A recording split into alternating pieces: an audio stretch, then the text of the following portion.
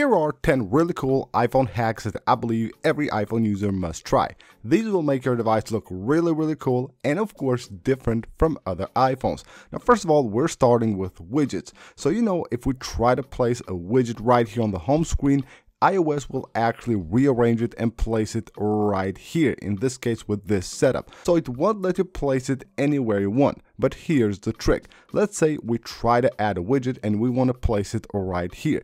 All we have to do now for that to work is if you have this kind of setup right here, go ahead and add some more icons to your home screen. So if I add another four here, I will now have this setup. Now I can go ahead and add a widget. So tap the plus button. So here, let's add this widget. So tap and hold on it and drag it just like this and place it here.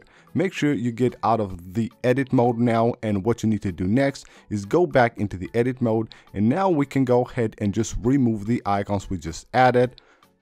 And now when we go back there, you can see that the widget will be placed there and it will actually stay there. With some new additions that Apple has added to the Shortcuts app with some new actions, it actually lets you do a trick that will help you pretty quickly lock any app you want with your Face ID and passcode. And this is how it works and how simple it is. All you have to do is open the Shortcuts app, head on to Automations, create a personal automation, and then go ahead and choose App from the list here. Just make sure you have this enabled and go ahead and pick any app you want. Let's go with App Store tap on the dump button, and now tap next. Tap on add action and search for lock screen. And once you find lock screen, just tap on it. And all you have to do here is tap on next, make sure you have disabled this and say don't ask and tap on the dump button. And now we're good to go.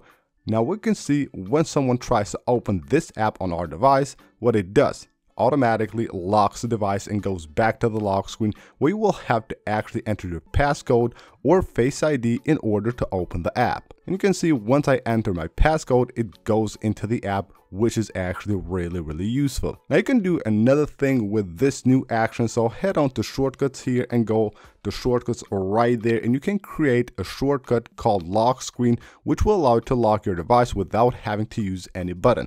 Again, just search here for lock screen. And once you have found that, tap on the done button. And now you have created that shortcut. 3D touch on it, tap on the share button and add it to your home screen you can add any name here. You can even change the icon if you want to and then tap on add and you're good to go. Now on your home screen you will have a button that allows you to lock your device without having to press the button, reach for the button there. So just tap here and your device is locked. Now here's a really cool one that will make your device stand out and look really really different. Now this is the first step, so follow a few steps that you will see in the video here and you will be able to do this without a problem. So go to the edit mode on your home screen and just go to the last page like this without no icons. Make sure to take a screenshot here now go back to the Shortcuts app and you will need to install this shortcut that I will leave linked right down below in the description of the video. Just run the shortcut and what you need to do here is choose how many blank icons you want to add to your home screen.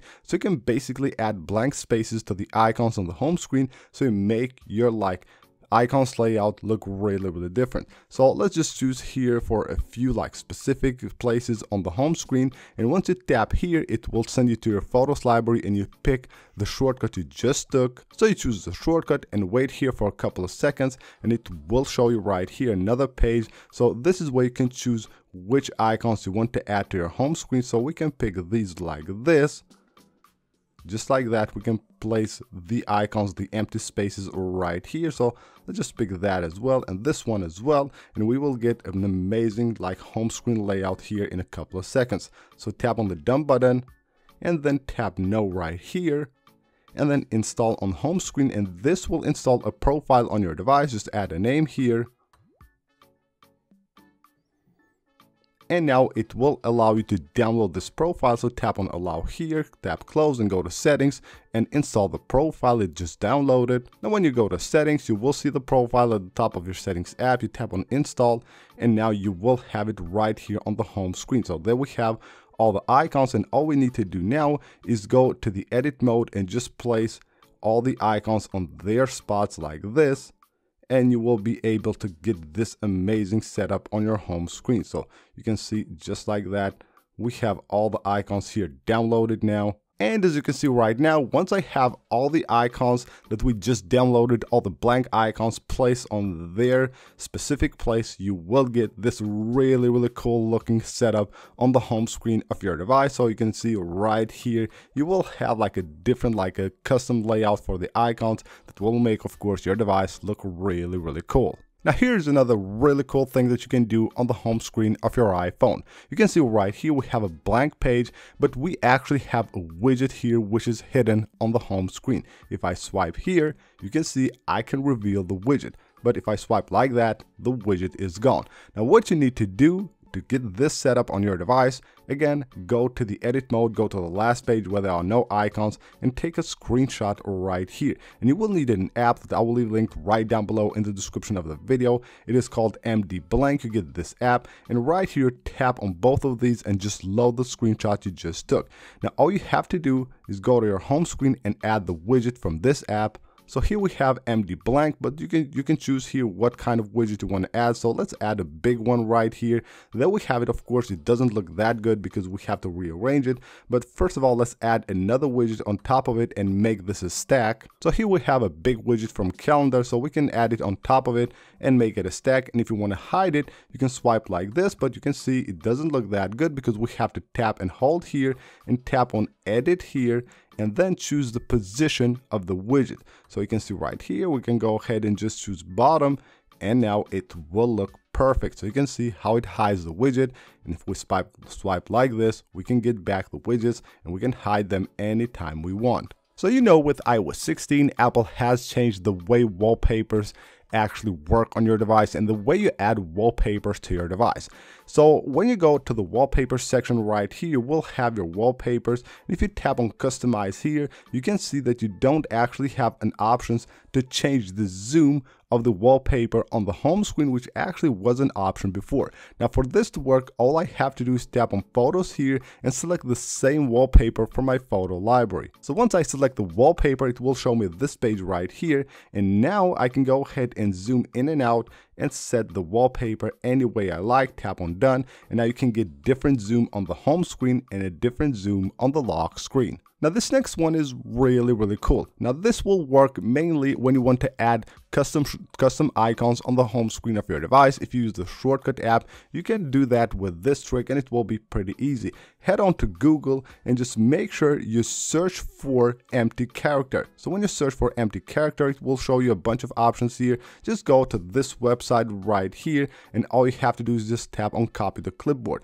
This will copy an empty character to your clipboard. Now if I go to shortcuts and I want to add like an icon to the home screen of my device, I tap on share and tap on add to home screen. All I have to do is just remove the name here and paste the text we have just copied just like that tap on add and you can see now it will actually add this icon to the home screen without a label at all now you can use the same trick for folders as well. So if you have that empty character copied to your clipboard, you can go to one of your folders and if you want to rename it, you can just go ahead and tap the X button to remove the name Tap on paste right there, it will just paste the empty character and just like that you will have a folder that doesn't have a label at all. Here's another cool trick you can do with the settings of your device. So head on to settings, go under accessibility and scroll all the way down. You will find per app settings. Go ahead and tap on here. You will find the home screen as the first one. What you can do here is add bold text to your home screen. So go ahead and tap on bold text and tap on on and this will make the text on your home screen bold. Now it will work on your control center as well, your home screen of course. And if we go right here to the spot to the app library, you will see that the text is bold here as well and it also has an impact on the st status bar of your device. Now the old trick from iOS 15 that lets you have multiple icons of one app on the home screen still works. So you can have like different pages with the same app. So if I have YouTube on another page, I can have it right here as well. So you can see I have it here on the second page, but I have it on the fourth as well. All you have to do is just go ahead and drag it from the app library and have it right here. You can see we have Spotify here, but we also have it right here. So that is it for this video, guys. Hope you guys enjoyed the video. Go ahead, leave a like if you did, subscribe for more, and I will see you on the next one.